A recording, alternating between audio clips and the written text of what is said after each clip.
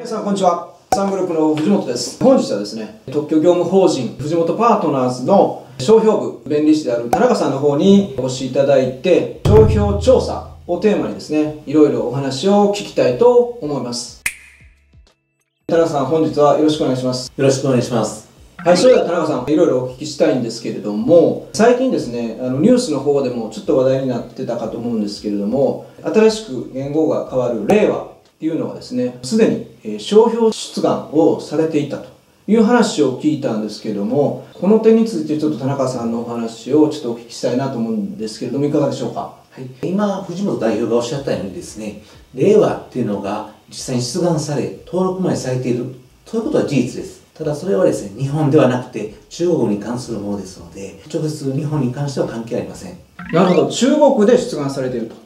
いうことですね。はい、はい、その通りです。これは中国の登録情報です。これによりますとですね、指定商品をお酒類に関して取っておりまして、出願日は2017年11月16日になっています。ですので、新言語が発表された時よりも前に出願されてますので、おそらくはこれに関しては悪意はなかったのではないかなと思ってます。では田中さんあのこの中国ですでに登録されている商標が日本でのこの使用をするときに問題になるっていうことはあるんでしょうか？そうですね日本ではいわゆる属地主義っていうのを捉えてますので中国で登録されたものとしましても日本に対して権利が及ぶことというのは特にありません。なるほど。ということは特に問題ないということですかね。その通りです。ただこれはあくまで日本での話ですので中国についてこの令和という商標を使用した場合これに何か問題がある可能性というのはありますのでその点は注意が必要ですなるほど。では日本では特に問題はないけれども中国でもし何か使用する場合には注意をする必要があるということですね。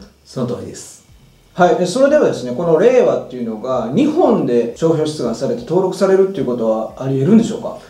そうですね。令和も含めまして言語そのものに関しましては日本では識別力がない。すなわちですね自分の商標と他人の商標とそれを区別させるものではないと判断されますので、まあ、誰もが登録することはできないということになっています。なるほど。ということは日本で商標出願もしくはその商標登録されるということは基本的にはありえないということでよろしいですかね。その通りです。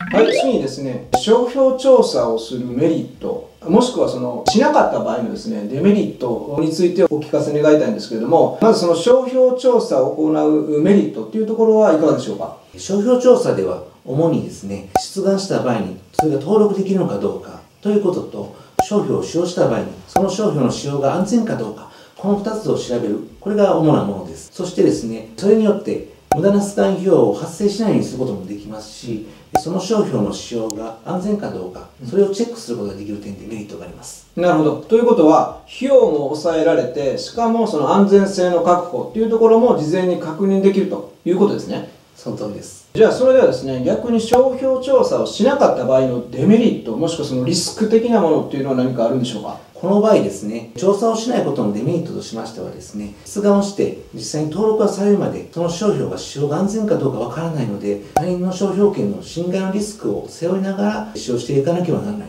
ということが挙げられます。そして、もしも仮に自分の使用商標と類似するような登録商標が見つかった場合にはですね、自分の使用しているにもかかわらず、その商標を中止しなければなりませんし、場合によっては損害賠償を請求されることもあります。なるほど。ということは、その商標を調査しないことによって、まずその商売する上での安全性っていうところがちょっと不透明なところがあるまま商売をしないといけないっていう点と、他社がすでに出願をしているというようなこともあり得るので、まあ、できれば事前に商標調査をすることが有効ではないかということですかね。その通りです。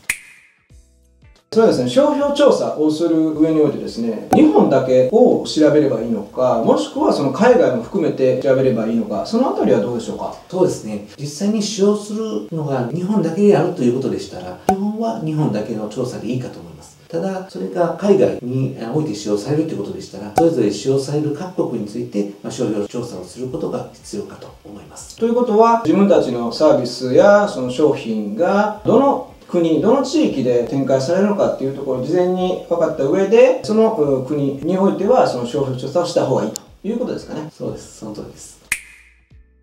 それでですね最後に商標調査を実際に行う手段、方法っていうのはどういったものがあるんでしょうか？商標調査では主に2つの点について調べることができます。一つは、その調査商標と同一または類似のものがあるのかどうかという点。うんもう一つが、その商標が識別力があるのかどうかという点です。その調査を行うためには、何らかのデータベースは必要です。そのデータベースの一つに、特許情報プラットフォーム、いわゆる J プラットパッドというのがあります。これはインピットが運営しているデータサービスで、商標だけでなく、特許実用新案、衣装、これらの候補を検索することができます。なるほど。ということは、このデータベースを使えば、まあ、商標はもとよりその特許であったり衣装であったりっていうのも調べることができるんですね。はいその通りです。ちなみにこのデータベースっていうのは有料で使うんですか？それとも無料でしょうか？いえこれはあの無料になっていますので大門が使うことができます。なるほど。ということはもうこれを見ておられる方が使っても特に費用も発生せず商標検索っていうのができると